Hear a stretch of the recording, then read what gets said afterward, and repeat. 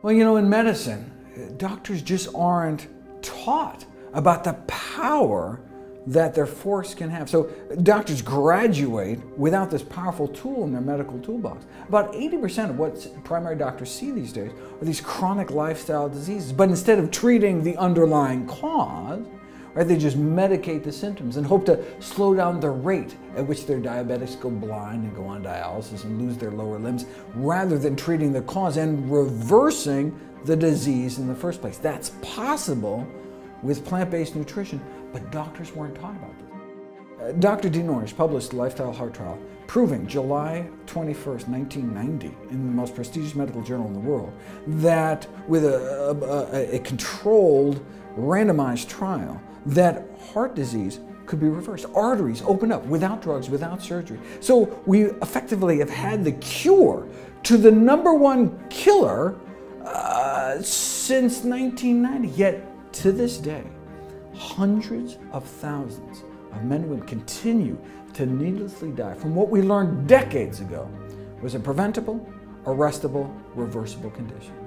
If that's all a plant-based diet can do, reverse the number one killer of men and women, uh, shouldn't that be the default diet until proven otherwise?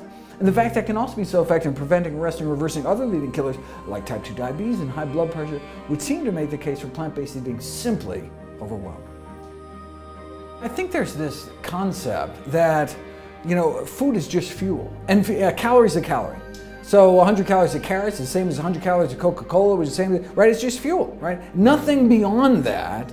Um, and whereas it's the opposite, it is the greatest um, exposure of our bodies to the external environment. When we have a, you know, a few square feet of skin exposed to the environment, our lungs actually uh, stretched out. Actually, we get quite almost a tennis court with all the little folds, but our gut is even more with all little tiny folds. It's our greatest exposure, not just day after day, three times a day to our external environment. So all the toxins um, that we're exposed to, um, uh, it's really what we eat that's more important than what we're breathing, or um, what we're physically touching.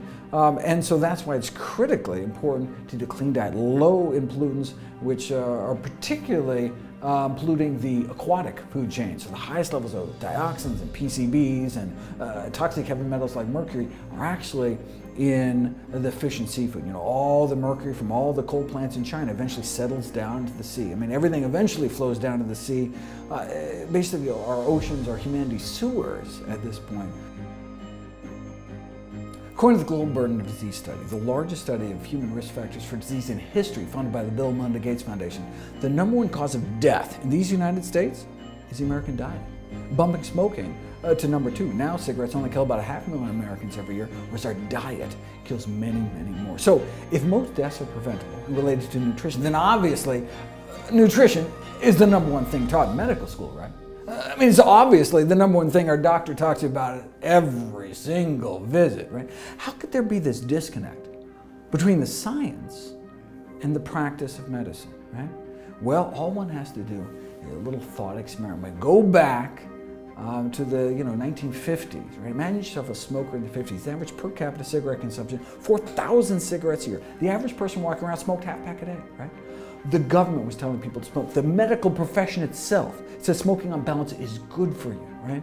So uh, smoking was normal. Most physicians smoked cigarettes. Uh, the AMA came out encouraging people, you know, saying, you know, smoking in moderation, oh, that's fine, right? Sound familiar, right?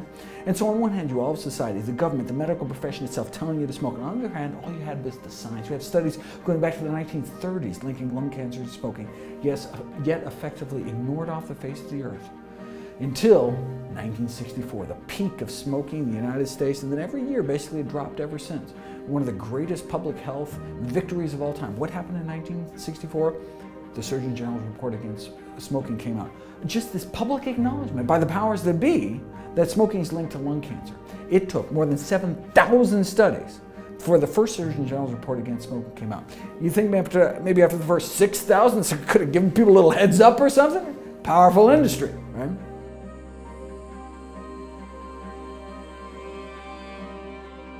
And so that's where we are today, right? Most doctors are continuing to eat foods that are contributing to our epidemics of dietary disease. No wonder they're not telling their patients, just like they weren't telling their patients between puffs to stop smoking cigarettes. Right? The system is just set up to reward unhealthy behavior. Right? Think about the foods that are being sold. Fruits and vegetables are perishable right? They're not branded. There's no markup. I mean, what you want is something that sits on the shelf for a couple weeks, right? Uh, great for shelf life, not good for human life.